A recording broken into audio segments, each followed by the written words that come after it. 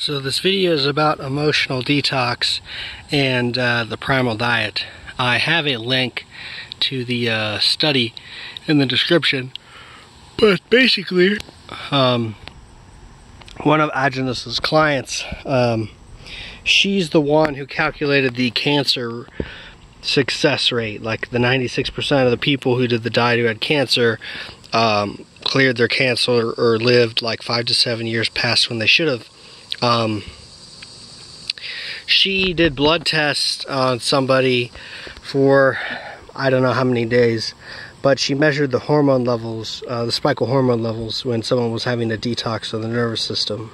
And she found that there were elevated hormones uh, during this detox, and uh, she postulated that, you know, these um, toxins were stored in the nervous system, and um, when you detox them, you will relive um, or experience the feelings and trauma associated with the uh, original event that caused them in the first place. And uh, like I said, this is because of a nervous system based detoxification. And these might go on, you know, for a week, two weeks, maybe a month. Um, just depends on how serious and how long like the trauma was. So, you know, she wrote a paper on this. Um, her name was Alora Van Winkle, I think. Um, like I said, I'll put the description to the study, the PDF, in the bio, kind of, or the description. It kind of breaks everything down uh, for you in simple terms. And, uh, yeah, it's pretty interesting. Um, you know, especially if you've had some traumatic events in your life even as simple as like asthma and the fear of not being able to breathe like if you have an asthma attack um, you know i had asthma i've had that experience before um, probably not the most traumatic thing i've gone through but it was still a little scary. But that is part of the primal diet um, you know and the, the cleansing process. It's not just um, like sickness of the body or whatever. It also has to do with the mind because you know these hormones they're stored and then eventually they're released once your body has the fuel to um, you know get rid of them.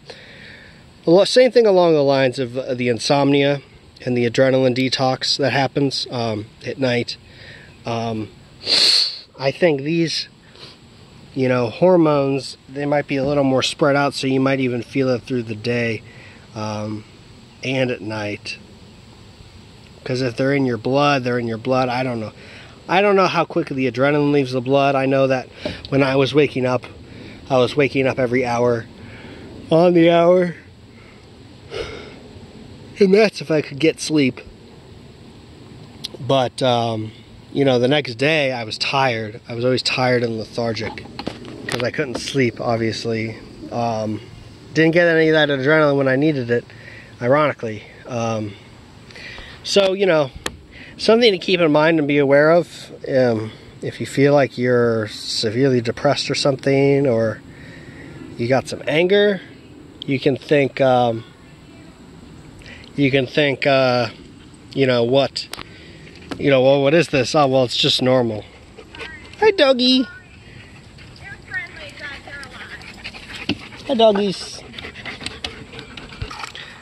as far as foods you can take to help with this, um, obviously the clay and the milk, cheese throughout the day.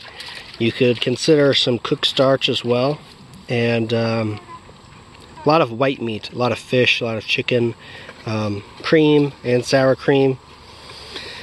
You know, milkshakes would be good.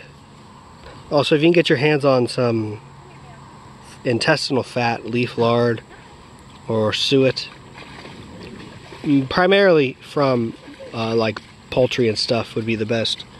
Um, that would be really healing and helpful as well, I think. Also, uh, being active helps and uh, getting some sunshine, try to do some things you like. I always try to find, like, put a comedy on or something. You know, like Caddyshack is really funny to me. So, you know, that's a good movie to watch if you uh, need to be cheered up. And, um, yeah, that's really about all you can do. Eventually it'll pass, so it's not forever. So just uh, just know that. And uh, if that happens to you, good luck. But there's plenty of things to help, um, you know, your situation if that does happen. So the suggestions I just mentioned, you could look stuff up on the uh, Aajonus online, the question and answers, listen to the Q and A's and the workshops. Um, there's some, you know, golden nuggets of wisdom in there too. So anyway, um, and as always, you can leave questions and comments in the uh, comment section there, and I'll reply. Hope that helps.